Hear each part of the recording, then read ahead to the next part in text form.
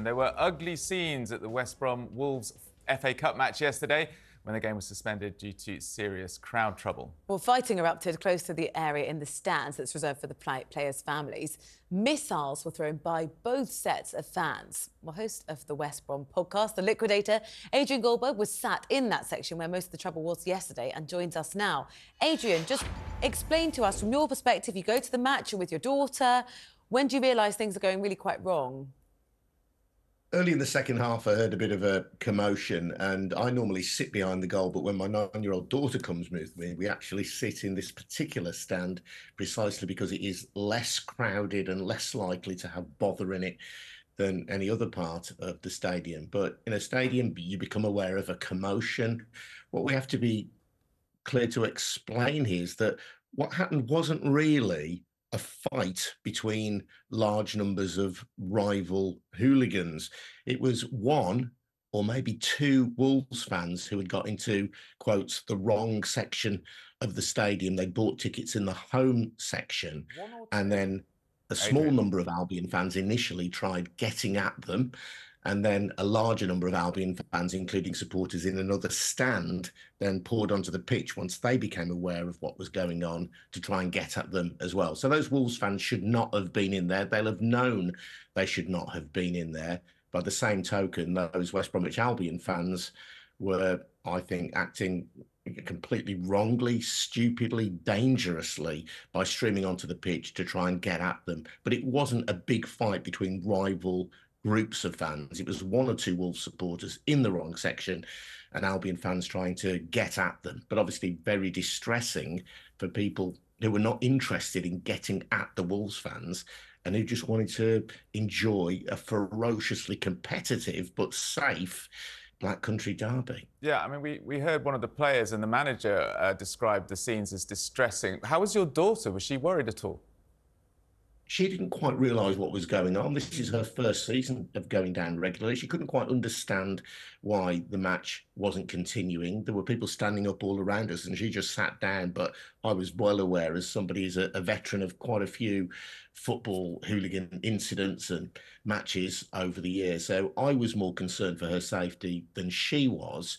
But having seen some of these incidents and seen sometimes how they can get out of control. I just wanted to leave the stadium at that point, and I've gone to the Albion for many, many years, and I've very rarely seen incidents like this. Almost never inside the stadium.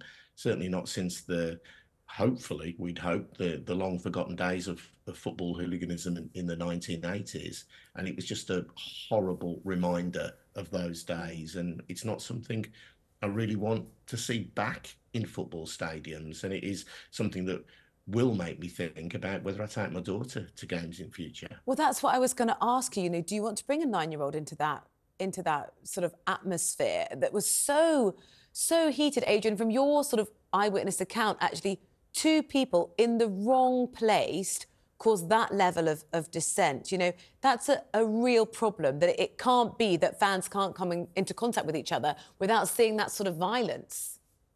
No, and I think it's one of the saddest features of football that tribalism gives football an edge, I suppose. That's part of what makes it exciting. And going to football gives us a great family bond. This is really important. It's something we love doing together. The idea to me that somebody is sitting next to you and happens to have a, a top on with a different colour to yours, they happen to support a local club, even if they're a different local club, I cannot understand the mentality mm. that makes somebody then want to hit that person, that makes them want to attack that person.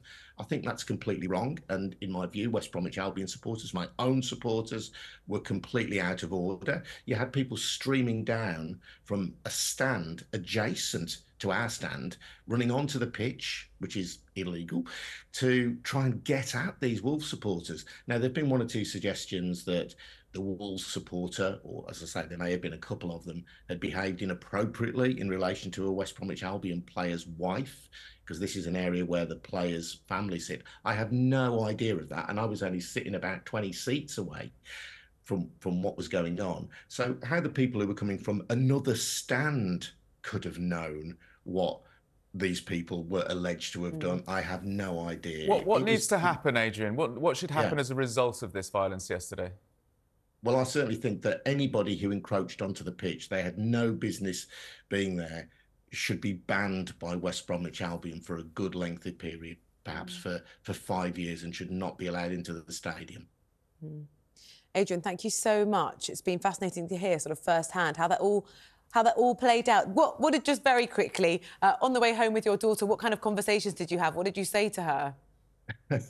well, I tried explaining as best I could uh, what had happened, but really, you know, we wanted to talk about happier things and not talk about the football, which Yeah. is very sad for me because I love football and I love the Albion. Yeah, I'm sure take her to another match in I the love my daughter more though. That's good clarification, Adrian. Thank you so much.